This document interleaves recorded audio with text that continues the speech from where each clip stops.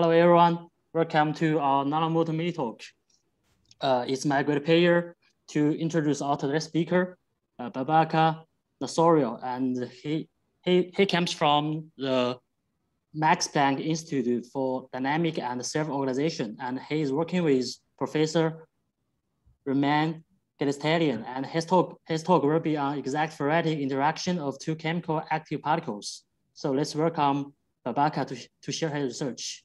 So please go ahead, Babak. Thank you so much for the introduction, and also thank you for Nano, uh, thank you Nanomotor for inviting me to give this talk. So I'm going to talk about exact phoretic interaction of two chemically active particles. The work that I've done with Professor Golestanian at Max Planck Institute for Dynamics and Self-Organization. The results of this talk have been already published in these two papers. So if you are interested, please have a look at them. They are both open source. Okay. I'm going to talk about chemical diffusiophoresis. But what do I mean by that? Consider a bath of liquid full of little chemicals. And I'm showing these little chemicals by these little blue spheres, and they are just diffusing around. Now what happens when I put a big colloidal red particle inside the system? Nothing yet happens because what happens is that this little chemical starts interacting with this colloidal particle through randomness, through Brownian motion. So we will have no net effect. What happens though, when this colloidal particle is chemically active itself too? Then it can alter the concentration of these little blue chemicals and that may give rise to the motion of the fluid at the surface of this colloidal particle and then that can lead to the net motion for this colloidal particle. So how can we model this phenomena? Well, we can say all this activity at the surface of the sphere is contained within a narrow region surrounding this red colloidal particle. So if the thickness of this narrow region compared to the size of the sphere is small, then we can replace all those activity with fluid asleep at the surface of the sphere. As if we say all those activity that happens with those little blue chemicals are now replaced with fluid slipping at the surface of the sphere. And once we make that assumption, we can arrive at the very simple relationship for the net velocity of the big colloidal sphere as a function of that slip velocity by just averaging it over the surface. But what controls this phenomenon? Well, there are two important factors. The first one is called chemical activity. Here I'm showing it by alpha. And it characterizes how our colloidal particle produce or consumes these little chemicals. The second important characteristic is mu or mobility. It basically tells us whether or not our colloidal particle wants to go towards more concentrated area or wants to move towards less concentrated area. And for most of the talk, I'm going to assume alpha and mu are isotropic, so they don't, they don't vary across the surface of the sphere. Okay, now let's have one of these colloidal particles, this chemically active particle, and put it in the bath of liquid of chemically uh, of these little chemicals. What happens? Nothing happens because everything is purely isotropic. So there is no preference in any direction whatsoever. So we will have no net motion.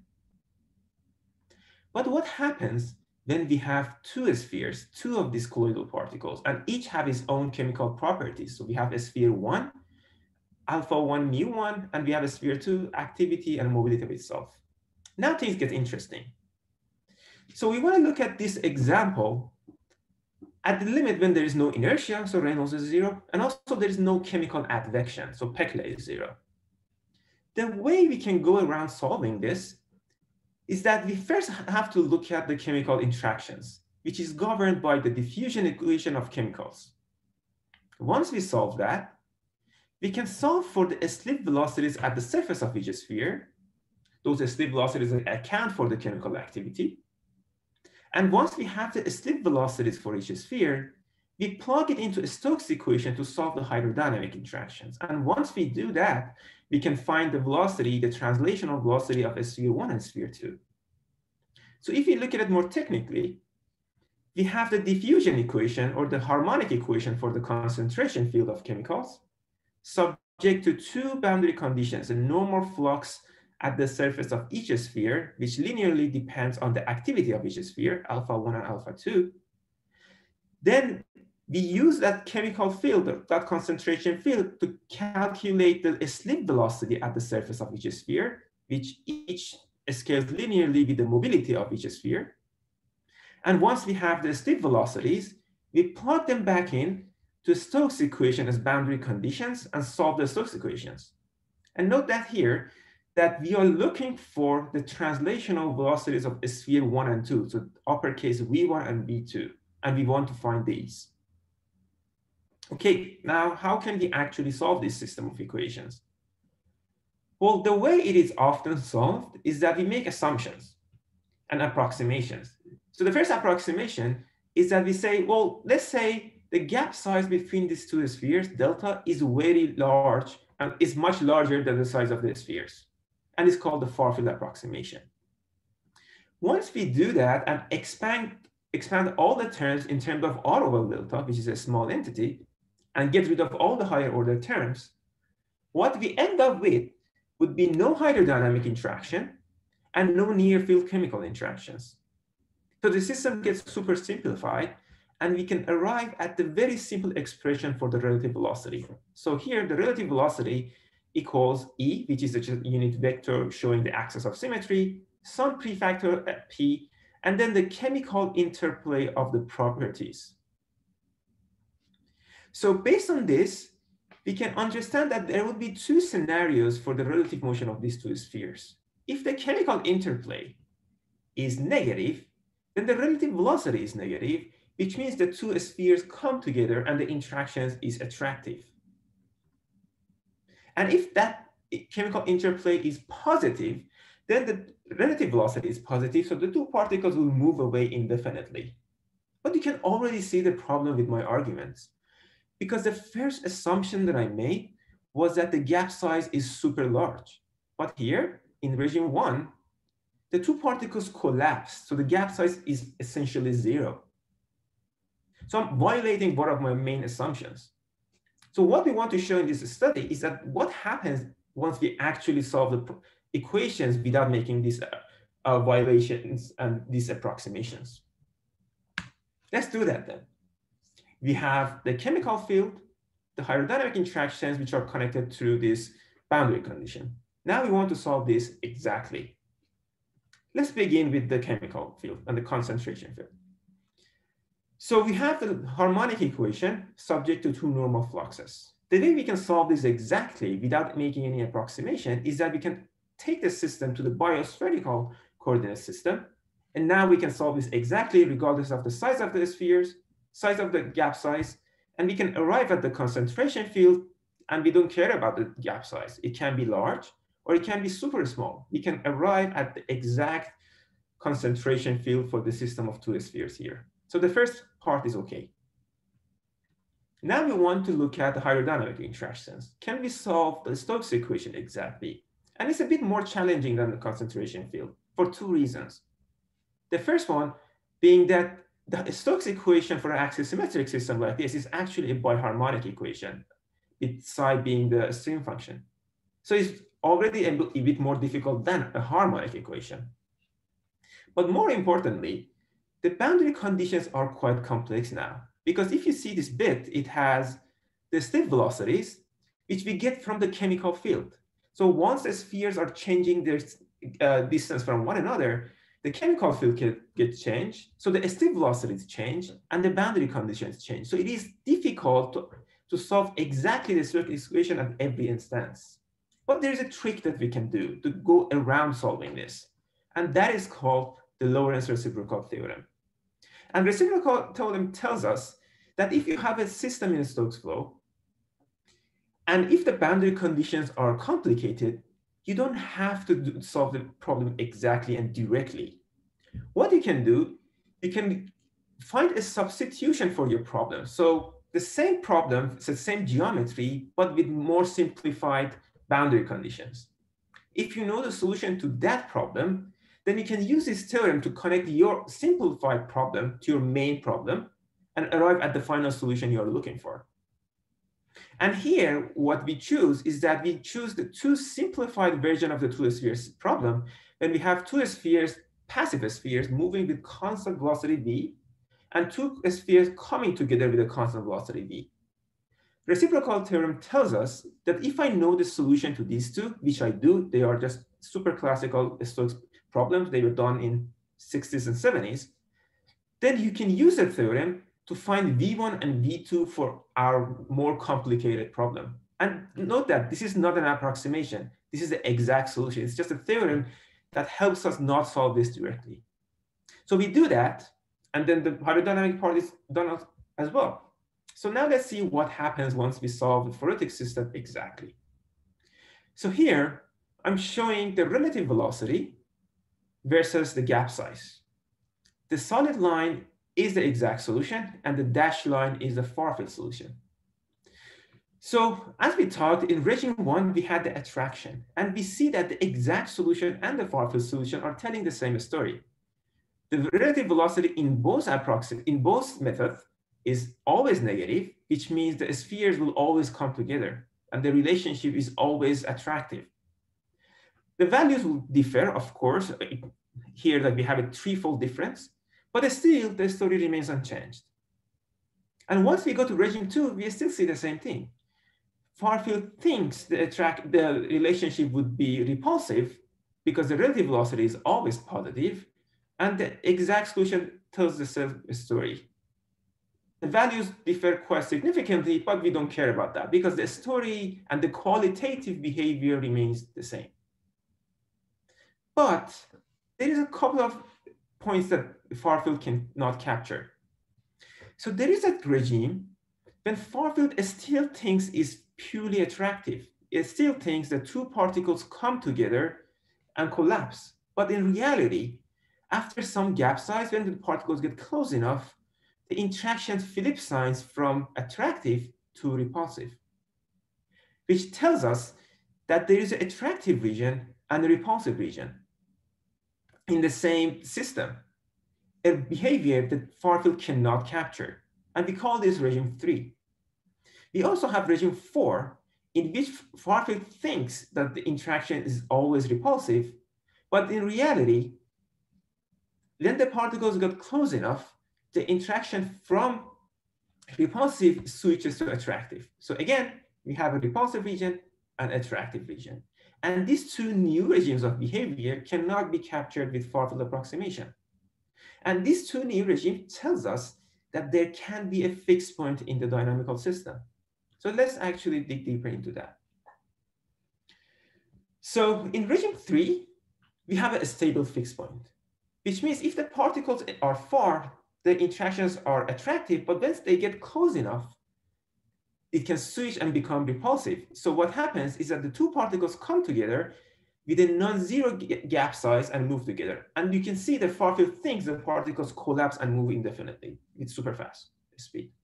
But here, you can see there would be a non-zero gap size. And we also talked about regime four, which we for which we had an unstable fixed point. So the two, if the particles are far from one another, nothing interesting happens, and Farfield does a good job in capturing the behavior. But it's unstable fixed point. If, so if you make the particles close enough, the particles collapse and swing super fast, while Farfield still thinks that two particles want to move away indefinitely. So what is different here? If you recall, I told you that using the Farfield solution, the relative velocity has this very simple form. So what happens once we do things exactly? Well, this we have the similar form. Of course, it will be different prefactor, but we have the same chemical interplay. But now we have this extra bit which comes from near-field interactions. So we have this epsilon, which now captures the strength of near-field interactions compared to the full interactions. Now, if the particles are far, epsilon becomes zero, and we recover the far-field solution as we should. But once particles are getting closer to one another, epsilon will have a non-zero value and a finite value. And that gives rise to these two new regimes of behavior. Then you may wonder, what is the source of this epsilon?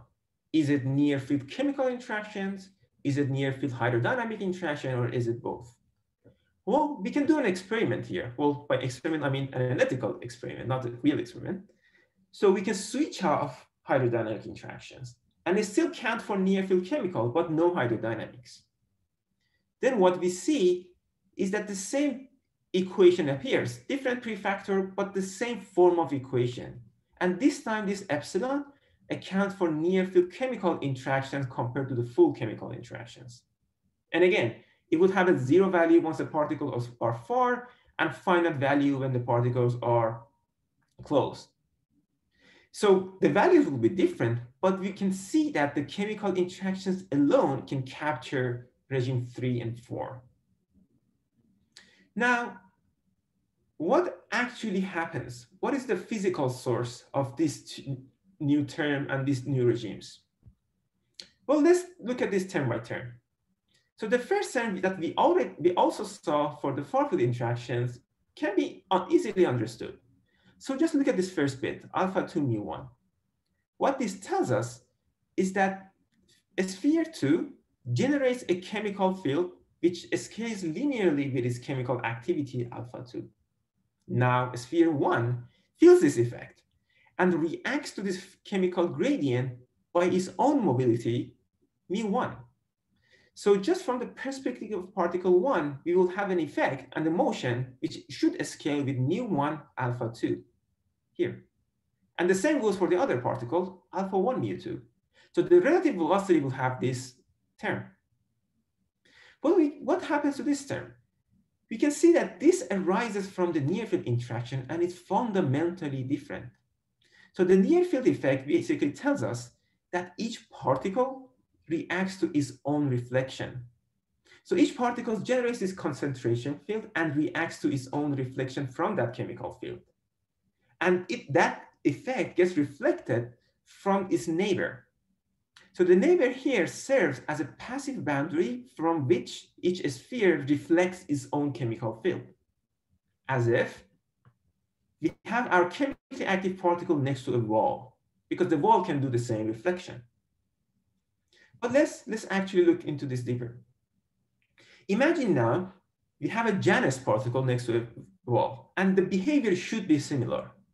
Because instead of the far field effect that we have for the pseudosphere system, for a Janus particle which is which has this inherent asymmetry, that effect of the neighbor can be replaced by self-propulsion. So this Janus particle can swim because it has asymmetry in its coating. And that effect of the near field is now replaced by a flat wall. And we expect to see the same thing because my argument was that the near field is just a reflection from a boundary. And once we do the calculation for the velocity with respect to wall, we arrive at this relation, which has some prefactor and then one, and this one accounts for self-propulsion, and the same kind of epsilon, which accounts for near field. And we see for some, for depending on the coating, the value of epsilon can be less, less than minus one, meaning that there can be a fixed point. So the same behavior happen, and near field, again, here is the reflection from the boundary. So then you may ask, how perfectly should we tune the properties to arrive at these new regimes of behavior? So here what Farfield, here is what Farfield tells us, that the phase diagram would look like this. If you have the activity ratios and the mobility ratios, regime one and two, purely attractive and purely repulsive, would be separated by a diagonal line. And here it's purely attractive, here it's purely repulsive. Now, if we switch on near field chemical, no hydrodynamic yet, just near field chemical, we will see that regime three and four start appearing into the phase diagram.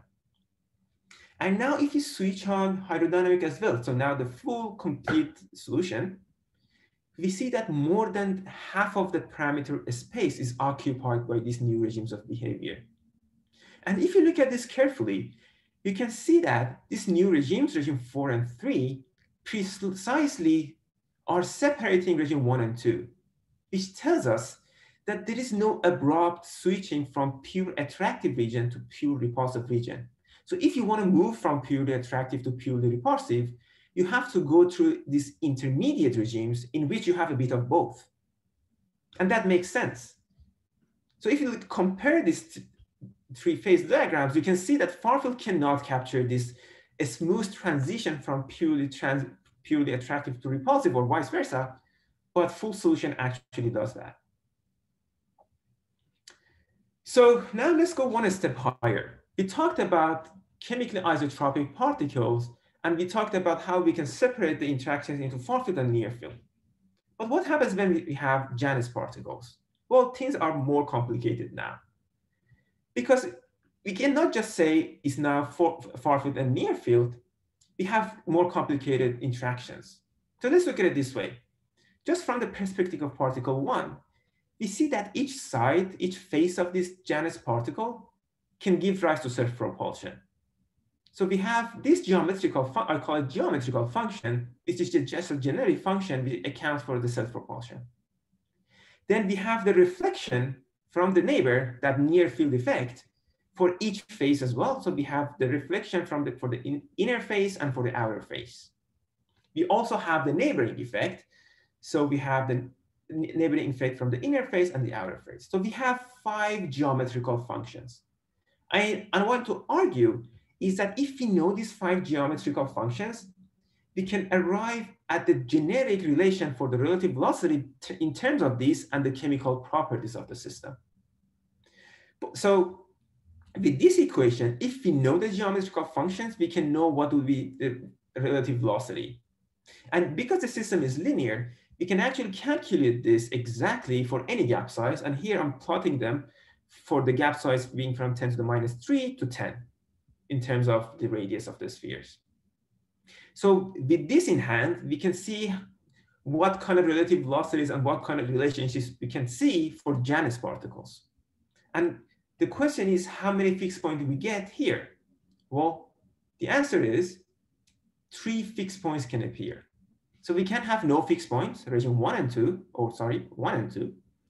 We can have one fixed point, stable on or unstable, region three and four, but we can also have two fixed points and three fixed points. So stable, unstable, two unstable, one uh, stable, or the other way around, which tells us the interactions are quite complicated.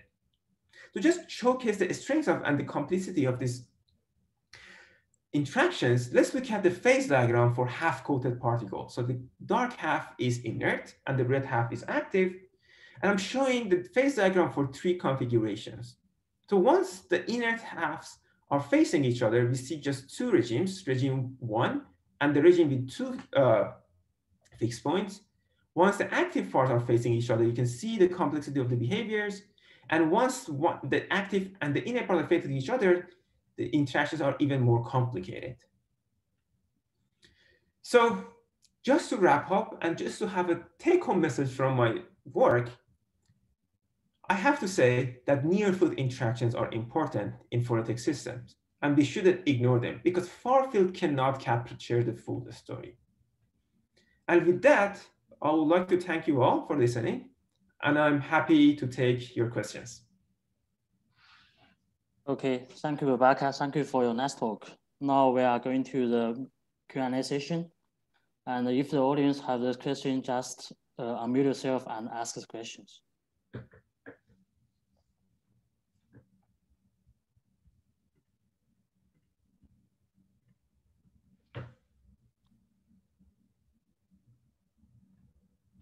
Or you can type your question into the chat box.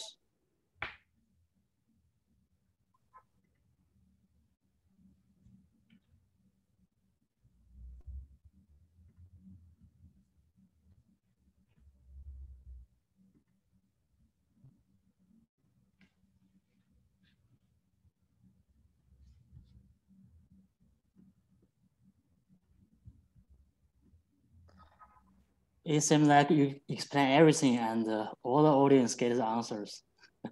yeah, I hope so too.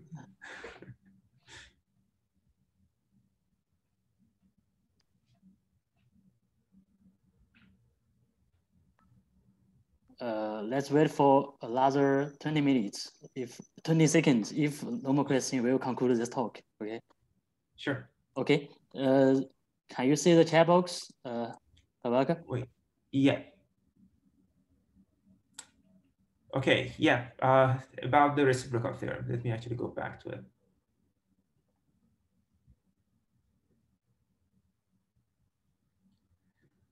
Um, wait, let me bring it up. Yeah.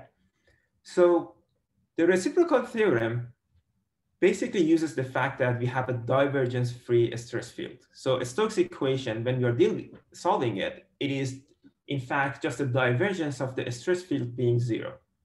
And we can use that divergence-free field to connect two seemingly unrelated problems.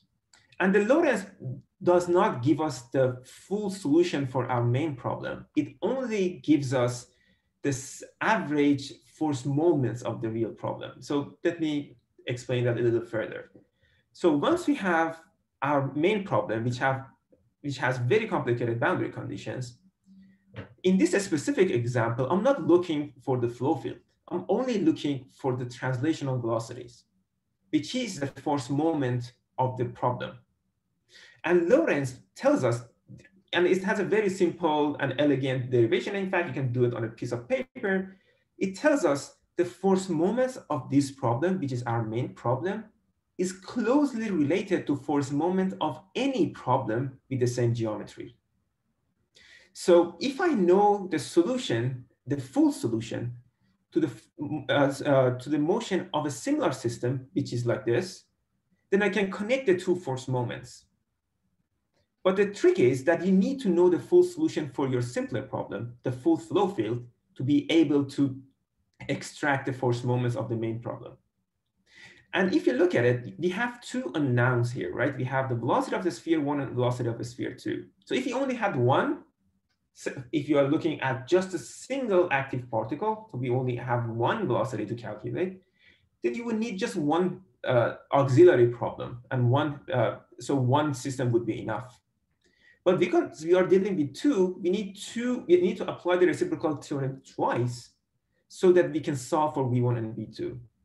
And people use reciprocal theorem all the time for dealing with active particles. So especially for non-Newtonian fluids, when you are dealing with the active particle in a non-Newtonian system, it is difficult to solve the non-Newtonian medium directly, but you can use the reciprocal theorem to connect that to a problem in a Newtonian fluid that you are comfortable with, solve that, get the force moment and find the velocity into the main problem. So Lorentz does that trick to connect your main problem to a very simplified version. I hope that answered the question. Okay, thank you. Thank you for your answer.